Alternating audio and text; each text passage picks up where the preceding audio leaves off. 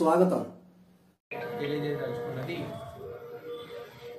మన మున్సిపల్ ఆఫీస్ని మనము విడ్రాయల్కి పెట్టడం జరిగింది. ఇక్కడికి ఎక్కువ మంది అలో చేయడానికి లేదు. As per MCC guidelines మనము హండ్రెడ్ మీటర్స్ ఏదైతే బ్యారికేడ్ ఉందో దాన్ని మనం మెయింటైన్ చేస్తాము. హండ్రెడ్ మీటర్స్ దాటి ఎవరు రావడానికి లేదు. హండ్రెడ్ మీటర్స్ లోపు ఎవరైతే withdraw చేయదలుచుకున్నారో candidate plus two people candidate or proposer plus two పీపుల్ని మాత్రమే మనము అలో చేయడం జరుగుతుంది. ఈ హండ్రెడ్ మీటర్స్లో ఒక బ్యారికేడ్ వేయడం జరుగుతుంది. అక్కడ పోలీస్ అండ్ మున్సిపల్ స్టాఫ్ ఉంటారు. క్యాండిడేట్స్ అందరూ కూడా దయ- దయచేసి దీన్ని గుర్తించి ఎక్కువ మంది రాకుండా మన మోడల్ కోడ్ ఆఫ్ కండక్ట్ని మనము అడ్హెర్ చేయాల్సిన కారణంగా ఓన్లీ వన్ ప్లస్ టూ అంటే క్యాండిడేట్ ప్లస్ టూ పీపుల్ని మాత్రమే మనము అలో చేస్తున్నాం. దీన్ని గుర్తుపెట్టుకొని దీని అనుగుణంగా ఈ గైడ్లైన్ని పాటించవచ్చు ఇద్దరికి మాత్రమే ఉంది. క్యాండిడేచర్ని విత్డ్రాయల్ చేసే హక్కు ఇద్దరికి మాత్రమే ఉంది. ఒకటి క్యాండిడేట్ స్వయంగా వచ్చి విత్డ్రాయల్ చేసుకొని ఫామ్ సబ్మిట్ చేసి విత్డ్రాయల్ చేయొచ్చు. ఎటువంటి పరిస్థితుల్లో కానీ కారణాల వల్ల కానీ క్యాండిడేట్ కింద రాలేకపోతే కేవలం ప్రపోజర్ క్యాండిడేట్ యొక్క ప్రపోజర్ మాత్రమే వచ్చి విత్డ్రా చేయవచ్చు. ఆ ప్రపోజర్ విత్డ్రాయల్ ఫామ్తో పాటు ఆథరైజేషన్ ఫామ్ కూడా తీసుకొని రావాల్సి ఉంటుంది. అంటే క్యాండిడేట్ అనివార్య కారణాల వల్ల తను రాలేకపోతూ ప్రపోజర్కి తన ఆథరైజేషన్ ఇచ్చి ఇతను నా తరపున విత్డ్రాయల్ చేయొచ్చు అని ఒక ఆథరైజేషన్ ఫామ్ ఉంది. ఆ ఫామ్ని తీసుకొని వస్తేనే మాత్రం మాత్రమే ప్రపోజర్ క్యాండిడేచర్ విత్డ్రా చేయవచ్చు. మరి ఇంకెవరు కూడా క్యాండిడేచర్ విత్డ్రా చేసే హక్కు కానీ అవకాశం కానీ ఇంకెవరికీ లేదు. క్యాండిడేట్ స్వయంగా వచ్చి చేసుకోవచ్చు. లేదా ప్రపోజర్ రావచ్చు. కానీ ప్రపోజర్ వస్తే విడ్రాయల్ ఫామ్తో పాటు ఆథరైజర్ ఫామ్ కూడా ఖచ్చితంగా తీసుకొని రావాల్సి ఉంటుంది.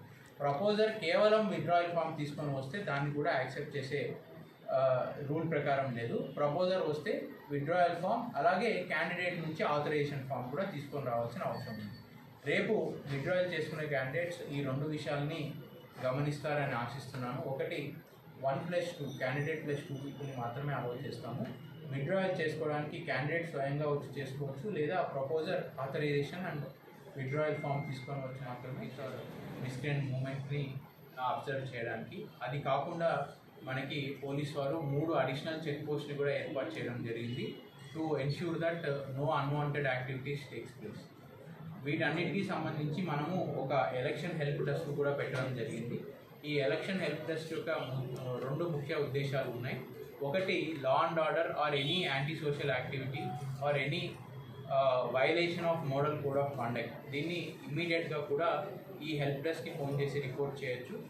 రెండో యాక్టివిటీ ఏదైతే గౌరవ ఎస్సీసీ గారి ఆదేశాల మేరకు ప్రతి అర్బన్ లోకల్ బాడీలో కూడా ఒక ఓటర్ హెల్ప్ డెస్క్ను కూడా మనం స్టార్ట్ చేయడం జరిగింది. ఈ ఓటర్ హెల్ప్ డెస్క్ యొక్క ముఖ్య ఉద్దేశం ఏమిటంటే ఓటర్ ఎవరన్నా తమ ఓటు ఏ పోలింగ్ స్టేషన్లో ఉంది అని తెలుసుకోవాలంటే ఖచ్చితంగా ఈ ఓటింగ్ ఓటర్ హెల్ప్ డెస్క్కి ఫోన్ చేస్తే అక్కడ మనము మూడు షిఫ్టుల్లో మూడు సీనియర్ ఇన్ఛార్జెస్ని పెట్టడం జరిగింది. వాళ్ళ దగ్గర మొత్తం ఎలక్టోరల్ రోల్ కూడా ఉంది. ఒకవేళ ఎవరికైనా డౌట్ ఉంటే ఈ నెంబర్కి ఫోన్ చేస్తే ఖచ్చితంగా వారు వారు ఏ పోలింగ్ స్టేషన్కి వెళ్ళి వారి ఓటు హక్కుని వినియోగించుకోవచ్చు అని మనం చెప్పడం జరుగుతుంది. ఈ హెల్ప్ డెస్క్ నెంబర్ ఒకసారి చెప్తాను.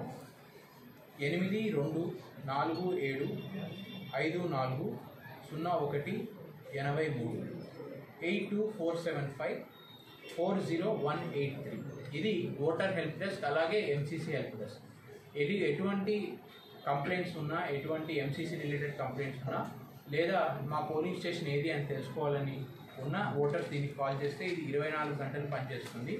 దీనికి సంబంధించి ఇన్ఫర్మేషన్ పొందవచ్చు ఒకవేళ ఇది సంతృప్తికరంగా లేదు లేకపోతే ఏమన్నా ఇన్ఫర్మేషన్ మీకు దొరకటం లేదు అని చెప్తే Kandukur sub collector office help desk కూడా ఒకటి ఓపెన్ చేయడం జరిగింది. ఇక్కడ యాక్టివిటీస్ మీద ఎవరైనా అసంతృప్తిలో ఉంది లేదా ఏదైనా ఇన్ఫర్మేషన్ అంద- అందకపోతే వారు ఖచ్చితంగా zero eight five nine eight double two three two three five.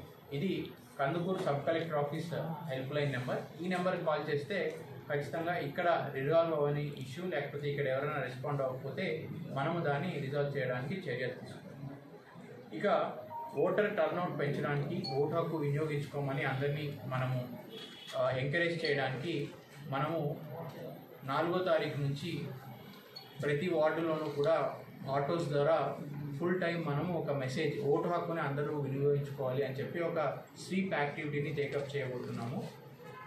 ఈ ఆటోస్ ఆర్ ఆటోస్ ఫోర్త్ నుంచి తొమ్మిదో తారీఖు వరకు ఎక్స్టెన్సివ్గా తిరుగుతూ ప్రజల్లో అవగాహన పెంచాలని మనము ఈ యాక్టివిటీని తీసుకో టేకప్ చేయడం జరుగుతుంది.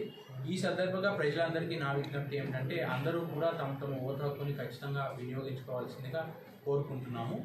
దీనికి సంబంధించి మనని ఓటు హక్కు వినియోగించుకోవడానికి ఓటర్ స్లిప్స్ అనేవి కూడా మనం జనరల్లీ పంచుతూ ఉంటాము. బూత్ లెవెల్ ఆఫీసర్స్ అందరికీ కూడా ఈ ఓటర్ స్లిప్పులు మనం ఇవ్వడం జరిగింది. నాలుగో తారీఖు నుంచి కూడా వాళ్ళందరూ తమ తమ బూత్ లెవెల్లో ఈ ఓటర్ స్లిప్స్ అన్నీ కూడా పంచడం జరుగుతుంది. ఇటు దీనిలో ఎటువంటి అవకతవకలు కానీ ఇబ్బందులు కానీ జరగకుండా ఉండడానికి మనము దీన్ని డైలీ వాళ్ళకి టార్గెట్ ఇచ్చి మనం ఎవ్రీడే రిపోర్ట్ తీసుకోవడం జరుగుతుంది. నాలుగో తారీఖు నుంచి మొదలుకొని మనము ఈ ఓటర్స్ ఎలక్షన్ ఓటర్ స్లిప్స్ని డిస్ట్రిబ్యూట్ చేయడం జరుగుతుంది. ఒకవేళ ఎవరికైనా అందటం లేదు లేకపోతే మా ఓటర్ స్లిప్ అందలేదు అంటే వాళ్ళు వెంటనే ఈ call centre help desk phone చేస్తే ఏ కారణం చేత వాళ్ళకి అందలేదు అనేది మనం ఖచ్చితంగా ఇన్వెస్టిగేట్ చేసి వారికి ఓటర్ స్లిప్ అందించడం జరుగుతుంది. ఛానల్ చూస్తున్న ప్రేక్షకులు మీ ప్రోత్సాహంగా మా ఛానల్ను సబ్స్క్రైబ్ చేయండి. ప్రక్కనే ఉన్న బెల్ బటన్ను